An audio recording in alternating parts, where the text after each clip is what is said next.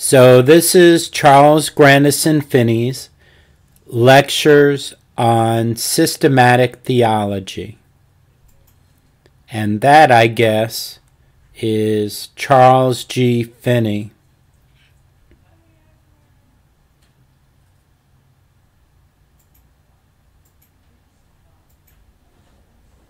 Lectures on Systematic Theology Embracing lectures on moral government, together with atonement, moral and physical depravity, regeneration, philosophical theories, and evidences of regeneration. By the Reverend Charles G. Finney, Professor of Theology in the Oberlin Collegiate Institute. The book was published 1846.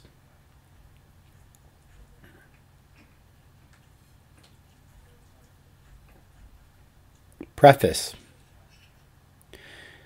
1. The truths of the blessed gospel have been hidden under a false philosophy. Of this I have been long convinced. Nearly all the practical doctrines of Christianity have been embarrassed and perverted by assuming as true the dogma of a necessitated will. This has been a leaven of error that, as we shall see, has leavened nearly the whole lump of gospel truth.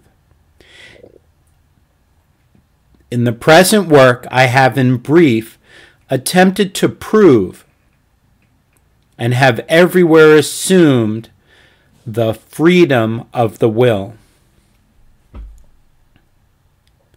2. My principal design in publishing on systematic theology at the present time is to furnish my pupils with a class or textbook where many points and questions are discussed of great practical importance, but which have not, to my knowledge, been discussed in any system of theological instruction extant. I have also hoped to benefit other studious and pious minds. 3. I have written for those who are willing to take the trouble of thinking and of forming opinions of their own on theological questions. It has been no part of my aim to spare my pupils or anyone else the trouble of intense thought. Had I desired to do so, the subjects discussed would have rendered such an attempt abortive. 4. There are many questions of great practical importance, and questions in which multitudes are taking deep interest at present that cannot be intelligently settled without instituting fundamental inquiries involving the discussion of those questions that lie at the foundation of morality and religion. 5. I am too well acquainted with the prejudices of the great mass of professing Christians, and with their unwillingness to be at the pains of studying elementary truths and of judging for themselves to expect that this book will soon favor with the majority of them. Still, I am aware that a spirit of inquiry into the fundamental and elementary truths of religion and of all science is abroad and is waking up more and more in the church.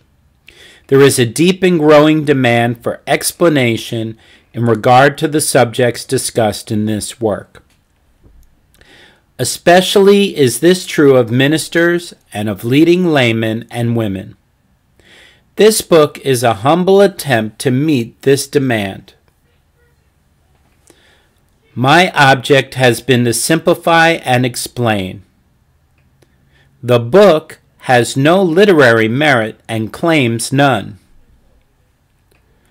6. I fear that the book will not be understood even by some who are willing to read and are desirous of understanding it. The reasons are 1. The book is highly metaphysical. This, however, is owing to the nature of the subject. The subject is mind in its relations to moral law. Hence, the discussion to be anything to the purpose must be metaphysical. To avoid metaphysics is such a in such a discussion were to waive my subject and to write about something else. 2. There is a good deal of repetition in the work. This I judge to be indispensable to perspicuity. Perhaps the reader will not agree with me in this, and may think he should have understood me just as well if I had repeated less. But my experience upon this subject, after having taught these truths for years, has ripened the conviction that there is no other way of being understood upon such a subject. 3. I fear that with all my painstaking the book will not be understood even by many who desire to understand it, on account of my inability to simplify and explain so profound a subject. With this thought, I have been much oppressed. 4. Notwithstanding the repetition alluded to, I fear it is condensed too much to be understood by some. The book to be understood must be studied and not merely read. 7. This volume is much more difficult to understand than any of the remaining volumes will be. I have begun with the second volume, as this was to be on subjects so distinct from what will appear in the first volume that this volume might as well appear first and because it seemed especially called for just now to meet a demand of the church and of my classes. 8. Most of the subjects of dispute among Christians at the present day are founded in misconceptions upon the subjects discussed in this volume. If I have succeeded in settling the questions which I have discussed, we shall see that in future volumes, most of the subjects of disagreement among Christians at the present day can be satisfactorily adjusted with comparative ease. What I have said on the foundation of moral obligation is the key to the whole subject. Whoever masters and understands that can readily understand all the rest. But he who will not possess himself of my meaning upon this subject will not, cannot understand the rest.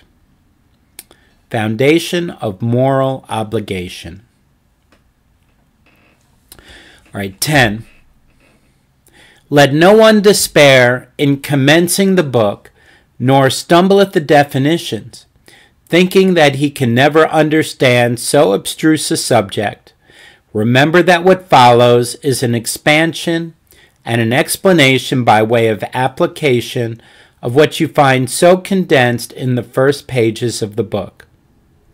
My brother, sister, friend, read, study, think, and read again. You were made to think. It will do you good to think, to develop your powers by study. God designed that religion should require thought, intense thought, and should thoroughly develop our powers of thought. The Bible itself is written in a style so condensed as to require much intense study. Many know nothing of the Bible or of religion because they will not think and study.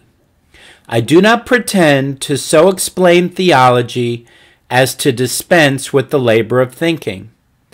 I have no ability and no wish to do so. 11. I suppose that faults will be discovered in the book by others that I have not seen myself.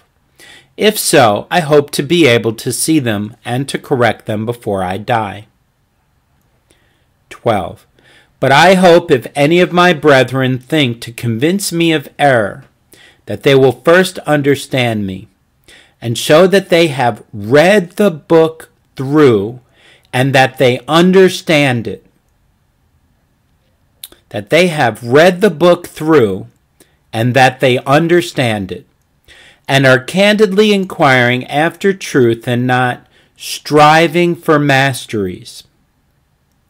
If my brother is inquiring after truth, I will, by the grace of God, hear with both ears and then judge.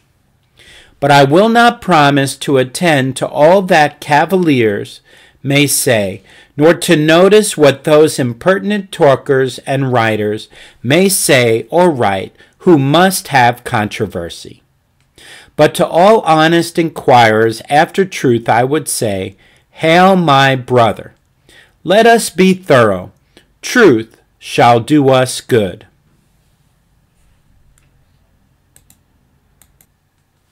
Thirteen.